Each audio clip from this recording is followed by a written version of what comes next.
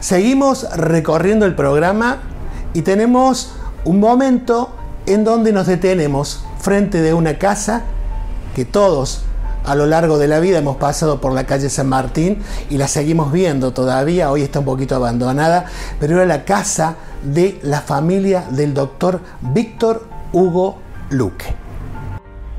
Aquí en San Martín 843 vivía el doctor Víctor Luque, junto a su esposa Matilde Gamito, quienes tuvieron varios hijos. Ellos eran Ignacio, Guillermina, Víctor, Matilde, Tristán, Carmen, Luis, Jorge y Susana. El doctor Luque durante años y años fue director del antiguo Hospital San Vicente de Paul. Épocas en que en Sulki se trasladaba a los campos a atender a los enfermos.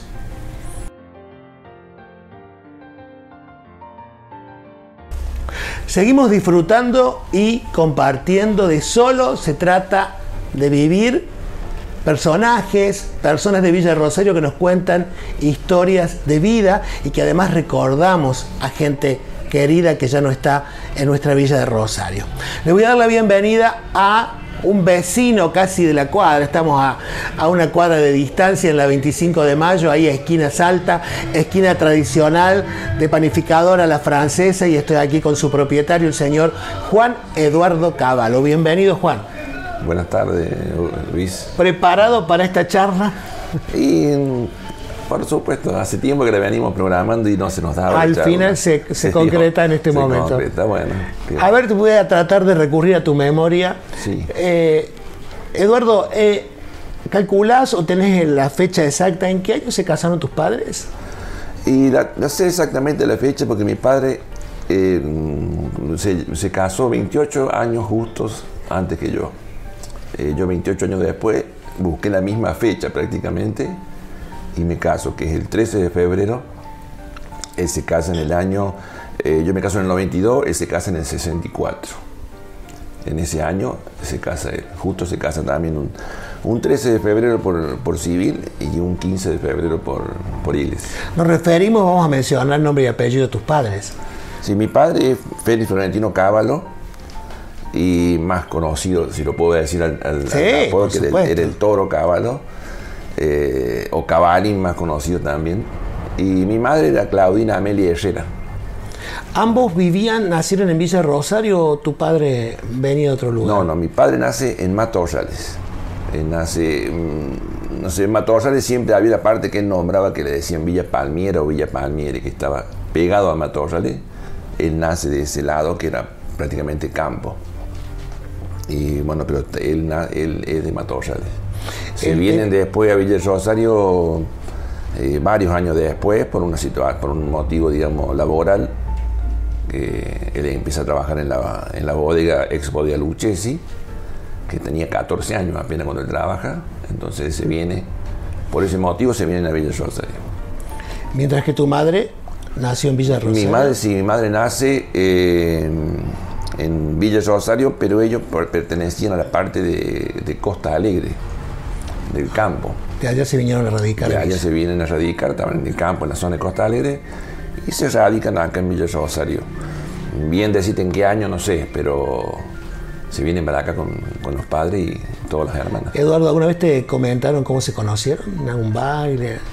Eh, se conocen primero, sí, se conocen, este, eh, sí, por medio de un baile y comenzaron, a, eh, teniendo una, relación, digamos, muy linda, empezaron a, noviar, pero después por un X motivo que no lo sé, pero se distancian como siete años, se distancian y se dejan, digamos, la, relación. Y después por medio de una, mi mamá trabajaba en la clínica de Barraza, en enfermera, junto con la hermana. Y bueno, viene mi papá que tiene un accidente en moto y tuvo que estar internado como 20 días en la clínica. Todo un, teleteatro. y ella viene a ser la... La, sanadora. sanadora de almas y de corazones. Era la enfermera en esa clínica justo, bueno, y ahí comenzaron nuevamente. Vuelven a reencontrarse. Reencontrarse y... Cuando se casan, eh, ¿recordás eh, dónde fue el primer domicilio que habitaron en Villa? Eh, sí, sí, cuando se casan se van a vivir a la, a la casa paterna de mi padre, donde vivía mi padre, que es en la calle San Juan. A la altura más o menos Al mil y mil- tanto. 1050, 1050, Sí, claro, pues, 1058 recuerdo ese por lugar. ahí. Recuerdo Que ese lugar. actualmente eh, está la residencia de Don Roncato. Es exactamente ahí. Y en ese momento que ellos se casan, tu papá ya había ingresado a la bodega Lucchesi. Sí, sí, no, no, mi papá siempre. O sea que había dos laburos que entraron a la casa. Tu madre como enfermera de la clínica San Claro, Martín sí. y tu papá... eh, En- en- y llegan dos hermanos, a la- dos hijos a la vida de ellos. Sí, sí, sí, o sea, nace primero mi hermana. Elba, Elba, que nace el 15 de marzo del 65. Nace Elba. Y bueno, después yo, dos años después, eh, a la llego, vida de yo, ellos. llego yo a la vida de ella. Exactamente. ¿Cómo fue tu infancia, Eduardo? Mi infancia. No, no, no puedo. si Yo siempre digo que si volviera a nacer, me gustaría ser el mismo. De la misma forma. Porque toda mi infancia. Una infancia feliz, contenta. Los primeros años, eh, cuando vivíamos ahí en la calle, ahí en San Juan, eh, era un barrio lleno de mujeres, prácticamente. O sea que yo era el, el- el- el- el mimado de todas las mujeres que, De la que- zona. de las amigas de mi hermana, digamos, eh, vivía ahí. Había pocos, pocos varones, digamos, había más que dos o tres varones que estaban ahí en la zona, pero algunos eran mayores que yo y otros menores. De mi edad casi que no había Ya ninguno. no había. Los juegos de la época, Los juegos de la época. Y mucho calle, ¿no? Mucha vereda. Totalmente calle. La pelota en el- en- era al principio del Protagonista. era la favorita y era, se jugaba ahí en el, en el campito del parquecito de- que tenía la, la canchita de fútbol. Y si no, después en cualquier potrero del barrio, como siempre, como siempre existió. Después, eso fue de, de- de chico chico. Después ya empecé con otros deportes, porque me gustaba el deporte, siempre me gustaba jugar. Con el básquet, este, eh, porque uno siempre tenía la intriga eh, de aprender algo nuevo. ¿Tu primario en qué colegio, colegio fue? Colegio San José. Sí, ahí porque ya vivíamos, eh, cuando yo empecé el primario, mi padre hace la casa propia, eh, por supuesto que siempre eh, a fuerza de voluntad y el trabajo de él y de mi mamá, ¿no es cierto? Los dos hacen la casa en la calle Corrientes, al 888. Ahí yo estuve desde los 5 años casi hasta los 20 y hasta los 87, así que tuve casi hasta los 25 años. Mientras que tu hermana, ¿a qué colegio asiste? al Sobremonte. Mi hermana asiste al Sobremonte. En ese momento era simplemente por un tema de, de distancias, porque mi hermana cuando empieza el jardín de infante vivíamos en la calle San Juan Quedaba y el. Sobremonte le quedaba ahí a una, Una cuadra y media. una cuadra y media. Y me, yo, cuando vivíamos en la corriente, me quedaba al frente del Sobremonte. Pero el Sobremonte en ese momento, los acordemos que era únicamente de mujeres. Claro. Entonces no podía asistir. Por eso comienzo en el San José, que era exclusivamente varones. Eduardo, háblame de tu niñez y las navidades, las fiestas de fin de año. ¿Cómo eran? ¿Con quiénes se reunían? En familia totalmente. ¿Qué familia? ¿Ambas? dos, ambas, ambas, sí, sí, sí. sí. ¿Una cantidad en esa mesa? Sí, mi, eh, mi padre principalmente era, él era muy familiero. Él era de, él siempre las juntadas de familia, de parte de él, digamos, de, de- de los cábalos, eh, era uno de los, de los promotores de, la- de las reuniones familiares, ya sea para fin de año, para unas X fiestas de, de- de cumpleaños que cumplían los años, varios de la familia nos juntábamos, para un Viernes Santo, la famosa bañacauda que se hacían los gringos. Eh, siempre teníamos varias juntadas en el año, no, no solamente la de Navidad. Pero la de Navidad sí era, era, era ¿Pasaban por tu casa el niño Dios, los Reyes Magos? sí, sí, ¿Y sí. recordás algún regalo en especial que te marcó? Y juguete. no hubo nunca un regalo... eh, ¿Costoso? Sí, exactamente. O sea, siempre fueron regalos eh, simples pero hermosos regalos. Eh, por lo general una remera, un pantaloncito, eh, eso no faltaba nunca. La pelota también, eso era, era cada tanto cuando faltaba una pelota Aparecía. aparecía. Y tenía mis tíos que también decía, siempre yo pensando que era el niñito Dios, ¿no es cierto? Claro, Nunca supe claro. que eran ellos, pero no, no, regalos grandes así, como me decirte, grande en ese momento, una bicicleta o algo así, nunca. Nunca, porque no, no, no. Si usábamos la bicicleta, era, era la bicicleta que teníamos en casa, que era la que usaba mi mamá. O sea, Yo aprendí a andar a los 6 años, 5 años en una bicicleta grande, como quien dice. ¿A lo largo de cuántos años tu padre trabaja eh, como empleado en, en la bodega Lucchesi? Él trabaja 36 años en la bodega, desde los 14 años hasta los 50. ¿Se retira porque él quiere o fue el, la época No, que fue justo en la época que, la bodega? que era que todos conocemos en aquella época. que marcó y muy fuerte a muchas familias, ¿no? Exactamente. Muy doloroso eso fue. Esa fue una etapa muy dura para, para muchas familias de Villa Rosario. ¿Qué hacen en ese momento cuando se enteran que bueno que se cierra la bodega? ¿Qué, Eh, bueno, mi papá no alcanzó a vivir el cierre. Eh, no alcanzó a vivir el cierre porque cuando se empezó a poner la bodega muy, Complicado muy complicada, que creo que fue en el año 83, me parece que fue una de las primeras complicaciones que tuvo ahí la bodega, que este, él agarra y por medio de un hermano que él tiene, que vive en Río Primero, eh, el, el hermano decide darle un empujón, un envión, como quien dice, diciéndole eh, salir de ahí porque no, no, ya no había porvenir, ya no había futuro. No había más futuro, exactamente. Entonces, él así mismo demoró, porque él tuvo hasta el año 85 que, para convencerse de salir de la bodega. Él, él, eh, como todos los ejemplos de la bodega, adoraban su, su, su bodega. No había uno que trabajara allá adentro que dijeran este, que se Y, vivieron ir. las épocas florecientes de la bodega, los grandes éxitos. Ninguno prácticamente se quería ir de la bodega. O sea, él no, no aceptaba mucho irse de la bodega. ¿Recordás cuál sector, sección de la bodega trabajaba él? Él le empieza cuando al- al- en- tuvo varios años, prácticamente 20 años, en la, en la sección eh, limpieza. En ese sector estaba él. Él hacía horarios eh, distintos a los demás, porque él sabía contar mi papá. él tenía que retirarse cuando todos se iban, él quedaba dos horas más. Claro, claro. Él con, su- con sus compañeros quedaban haciendo la parte de limpieza de la bodega. Y después lo pasan, eh, años después, lo pasan a la parte de control de cargas. Bueno, se, se retira de la bodega de alguna manera. Sí. ¿Inmediatamente llega panificadora la francesa o no? No, no, por eso te digo, ahí por un impulso de... De, De una hermano. cosa ingresa a la otra. Exactamente, por un Ah. impulso del hermano, que el hermano le- es donde le dice que, que ya no era más momento para estar en la bodega. ¿Y el hermano lo ayuda? Sí, lo ayuda muy bien, sí, sí. ¿A quiénes le compran en ese momento la panificadora? ¿Recordás quiénes eran los dueños? En ese momento la compra, el hermano de él a la panificadora se la compra a, a- a Dardo Morelos. Dardo Morelos que, vivía, que estaba dueño de esa panificadora. Se la compra mi tío, se la compra a, a Dardo. Usted- ¿Ustedes ingresan en qué año en la panificadora? 85. ¿Y cómo hacen para aprender todo lo que significaba? Mi papá empieza a hacer, digamos, eh, este, el hermano que le compra, que compra la panificadora, compra como para él. Y lo pone mi papá como, digamos, eh, Al frente. Al frente, exactamente. Ah. Y le da un par de, de- de- de- maestranzas el mismo hermano y con un empleado que él tenía en su panificadora en Río Primero. Bueno, y ahí después tuvimos suerte también porque vinieron panaderos que eran que sabían de panadería y vinieron a trabajar. Y bueno, él se puso al lado de, lo- de los que venían y, y aprendió el oficio. Eduardo, los cuatro integrantes de la familia participaban de todo lo que tiene que ver con eh, trabajar para en favor de la panificadora o no? Sí, sí, sí. Actu- a- ¿Cuál automáticamente. es la función de tu madre, por ejemplo, ahí? El despacho. ¿Y Elba?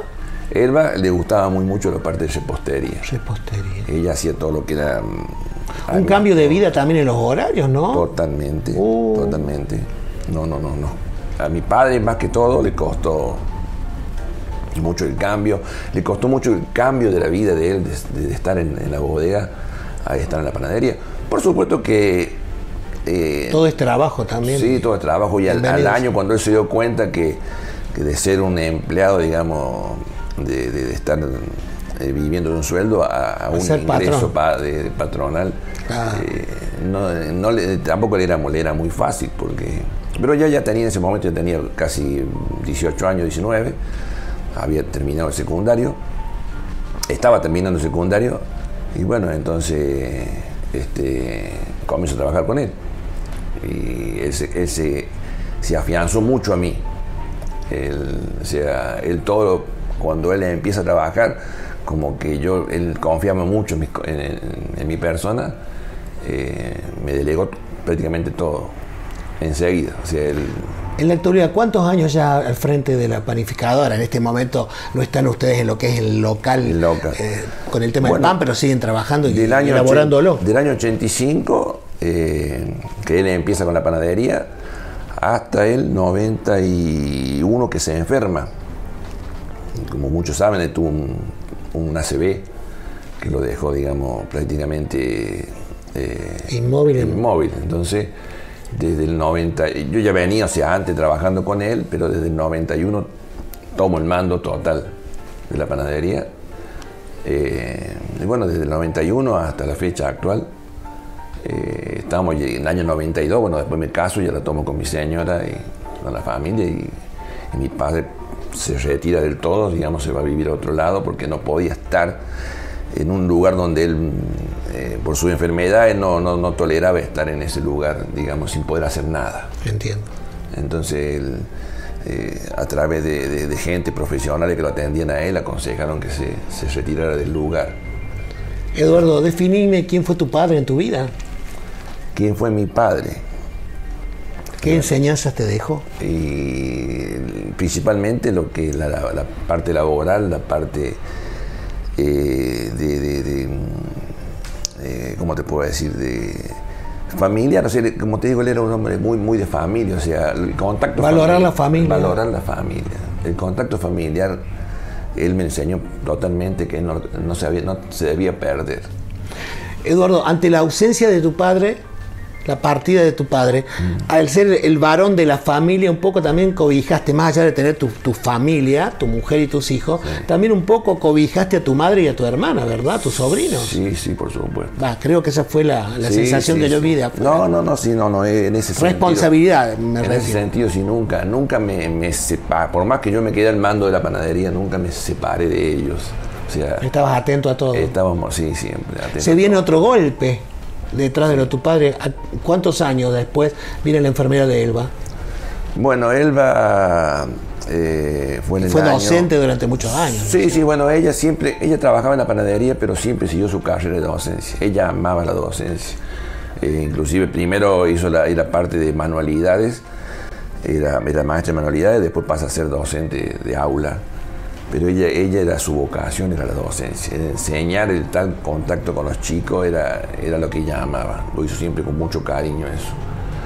Y bueno, mi hermana siempre, estando en la panadería, seguía estudiando la docencia y cuando consigue la titularidad, digamos, en, un colegio, se abocó totalmente a la, la docencia. A la docencia, exactamente.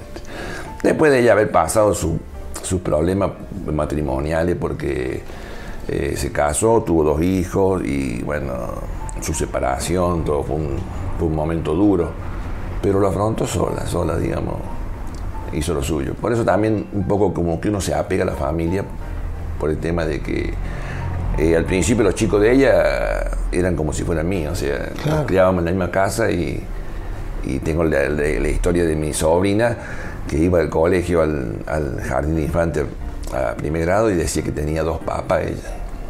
El papá tío, digamos, y el papá. Claro, claro. Porque siempre, nunca, ¿no? siempre estuvimos muy apegados familiarmente. ¿Qué pasa por vos cuando te enterás que tiene una enfermedad que no era fácil de afrontar Elba? Sí, eso fue en el año, cuando fue justo un, el mismo año que mi hija cumple 15 años, así que fue en el 2008, fue cuando ella comienza que descubre que tenía la enfermedad. Al principio lo tomó medio como que... Se podía salir adelante. No, no, o sea, ella lo llevó durante nueve años, lo llevó adelante a, su enfermedad. Los primeros años siguió siempre lo que los médicos le fueron aconsejando y siempre le fue dando hacia adelante y nunca bajó los brazos. Prácticamente hasta el último nunca bajó los brazos. Ella siempre tuvo la esperanza de, de que seguía, de seguir viviendo, las ganas de vivir que tenía, que, que nunca abandonó su tratamiento, digamos. Pero bueno, es una enfermedad que ya todos sabemos que llega un momento en que... Tiene un final. Un final, exactamente. Lamentablemente todavía no, no parece la, la, cura de esa enfermedad. ¿no? De esa enfermedad. Dolorosa no solamente para el que la vive, sino para los que están alrededor. Claro. Y ella en esos nueve años hizo de todo lo que podía hacer. Y bueno, salía siempre adelante, siempre adelante. Y hasta que te digo, el último llegó. Eduardo, ¿tuviste una despedida con ella los últimos días de su vida? ¿Pudiste decirle algo o ella transmitirte a vos una tomada de mano? ¿Hubo algo entre hermanos? Sí, sí, porque ella, eh, a pesar de que ella quería seguir viviendo sus últimos tiempos, uh.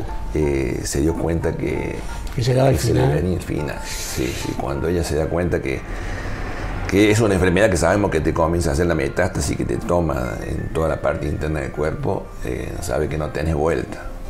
Eh, no hace falta que te lo diga el médico, que tenés meses de vida, pero sí, en, ese- en esos momentos tuvimos, digamos, El cuerpo te lo va delatando. de lo va adelantando. Sí, sí, sí. Esos agarrones de mano hasta el. eh, ella estaba internada en la clínica en los últimos tiempos que le, le ponían suero como para sobrellevarlo un poco, que ya casi no despertaba. Pero yo llegaba a la clínica y hablaba y ella empezaba a mover. Era una cosa increíble, pero eh, al escuchar mi voz ella movía la mano. Y vos le agarrás la mano y.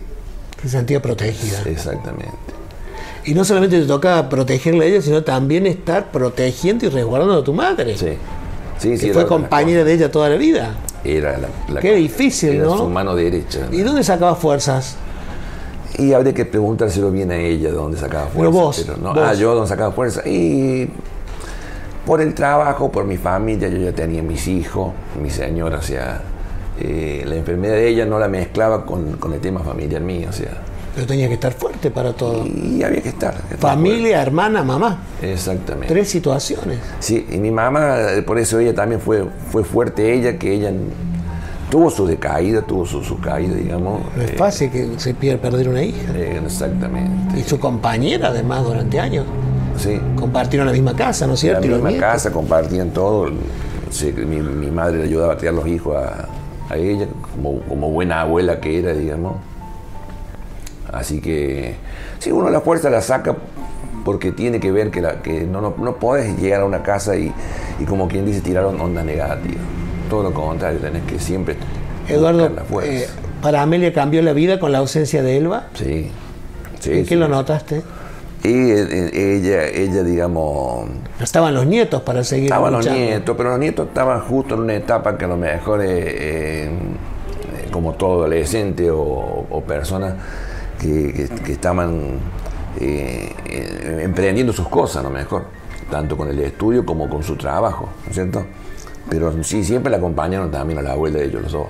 Eh, más que todo mi sobrino varón, él, él fue el que, que siguió, digamos, el, el- el- la parte que- Conteniéndola. conteniéndola como, como lo hacía la madre. Pero todo, digamos, se, se- se fue llevando eh, con el tiempo. O sea, no, no hay nada que uno, que uno lo sepa hacer. El tiempo te va diciendo lo que tenés que ir haciendo. Hay que entenderlo un poco la- la- a lo que te va, a lo que te va diciendo la, la- la- la- la misma na- naturaleza. Porque nos pasa en todo. Uno, uno es padre y no sabe ser padre hasta que va aprendiendo con el tiempo. Eduardo, ¿qué Sí. significa en tu vida la panificadora? ¿Qué significa en mi vida? Y la panificadora, podríamos decir que, que, que es todo, a, a pesar de que yo cuando empiezo con la panificadora no era mi, mi ideal. Yo no estaba destinado a, a, a ir a la panificadora. Yo había estudiado en el secundario, he hecho una carrera de molinería y mi destino era buscar eh, actuar solo en la molinería. Pero bueno, eh, cosas del destino, como te digo, eh, yo veía el esfuerzo que ponía mi padre y la confianza que él depositó en mí para yo llevar el negocio a cabo, eh, fue como que me quedé en la panadería.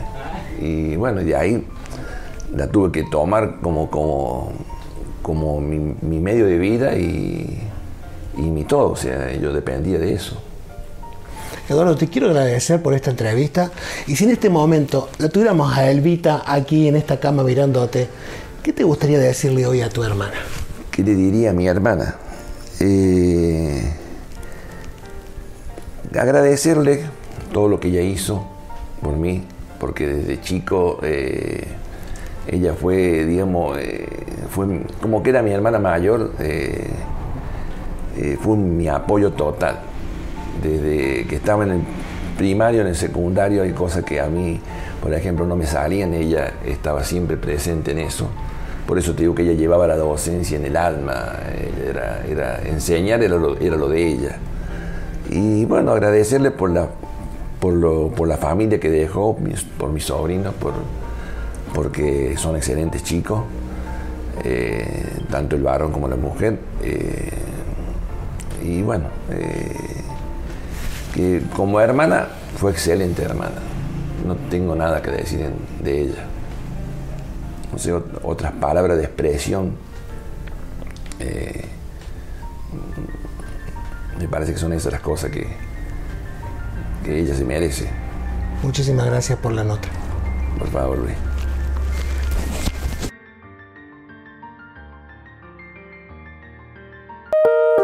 El cambio ya empezó y va a seguir transformando. Toda la villa creció, ya se nota en las horas. Siempre que hablo de vos me sigo emocionando. Y hace que nazcan las fuerzas para continuar. La ciudad se prepara porque Carballo gana. Y estando todos juntos nuestra villa avanza. Hay experiencia y también hay confianza. Prepárate para todo lo que soñas. Por eso Carballo va. Gente joven hace fuerte a la ciudad. Y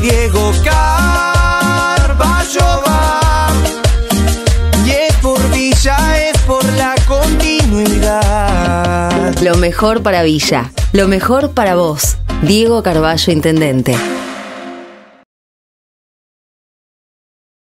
De corazón, deseamos con la producción de Solo se trata de vivir que hayan disfrutado de estas entrevistas y del contenido que le hemos brindado a través del programa.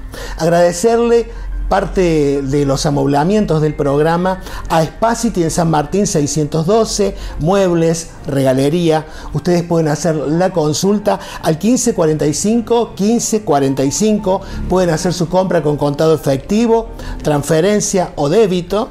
Y pueden también obtener para pagar en cuotas la tarjeta Spacity. Y pueden hacerlo también con tarjetas bancarizadas en 12 cuotas sin interés. Queremos agradecerle las exquisiteces a el señor Daniel Taborda de Panadería Taborda en Obispo Ferreira 487 y comentarles que tenemos un Instagram que se llama Solo se trata de vivir. Ahí ustedes pueden dejar comentarios y pueden decirnos qué personas les encantaría a ustedes que podamos entrevistar o recordar en el programa.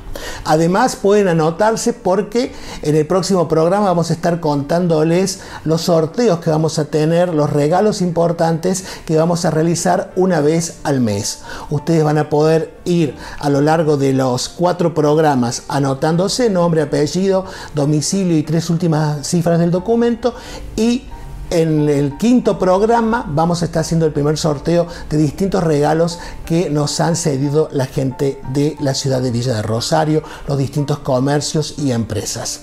Nos encontramos próximamente en un próximo capítulo, digámosle, de Solo se trata de vivir. Mi vida es una hoja en blanco, un piano desafinado, diez dedos largos y flacos y un manojo de palabras. Solo se trata de vivir, esa es la historia. Una sonrisa en el ojal con la idiotez y la locura de todos los días. Lo mejor resulta bien.